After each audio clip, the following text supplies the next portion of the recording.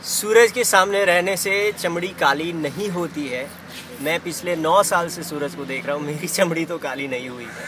तो ये सारी, ये सब मिथ्स है, ये सब मान्यताएँ हैं, इस मान्यताओं से हमें ऊपर उठना पड़ेगा और हमें विश्वास करना पड़ेगा कि सूरज केवल और केवल हमें ऊर्जा ही देते हैं और हमें ऊर्जावान ही बनाते हैं।